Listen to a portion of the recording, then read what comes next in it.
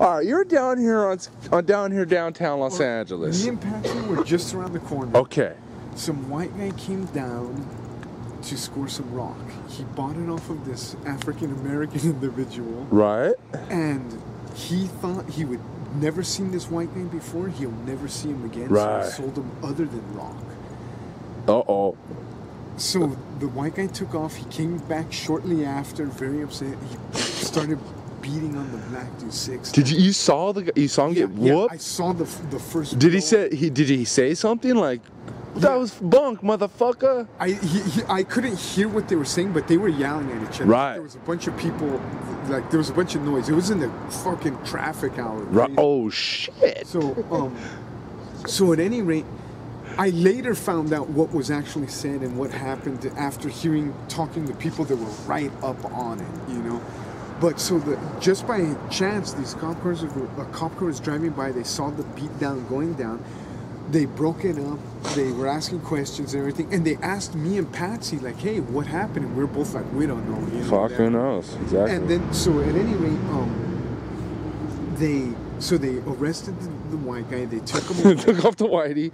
How bad was the guy beat? Like was he fucked up or what? He just he got socked up pretty good. Yeah, yeah, yeah. It was like, whatever. You, well, let, just hear the story. You- All right. Hold all questions till the end. So.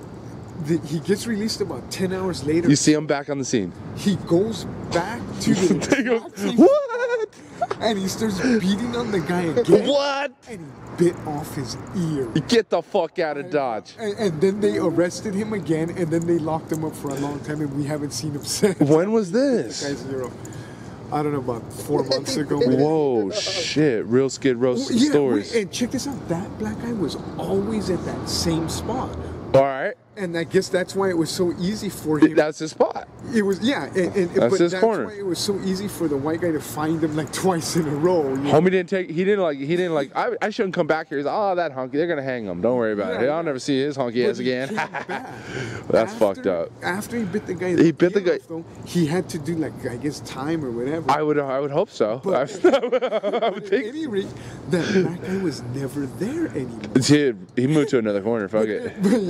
That's good back sense, corner. But but about I guess a couple weeks after that initial event, I bumped into him like far on far like on the other side of downtown, and I said, "Hey, what's up? What's I haven't up?" Seen you in a long time, dude. You know." And then he goes, "Yeah, I don't go over there no more, man." and then I go, "Why not?" And he goes.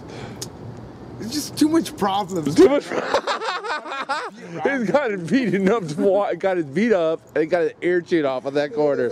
That he's like, what's the next shit? You know? so so uh so that's basically the whole story in my head i thought both of i thought both people were idiots because i thought number Oh, no doubt. uh, because I thought number well, because when they took the white guy away from there the first time, as he's getting fucking taken away, Right. said, I'm gonna come back. This shit ain't over, man. This and that. He was down. He was pissed, think man. both of those dudes were idiots. Number Yeah, some one, bunk crack. because Hell yeah. because Try to kill him with some buck Wait, Fuck. no, but I think they're both idiots because number one, the the black guy, after being told like I'm coming back, I'm gonna get you. This shit ain't over. He shouldn't have been so easy to find in the exact same Yeah, square inch. And He's just trying to keep face. He's like, I ain't leaving.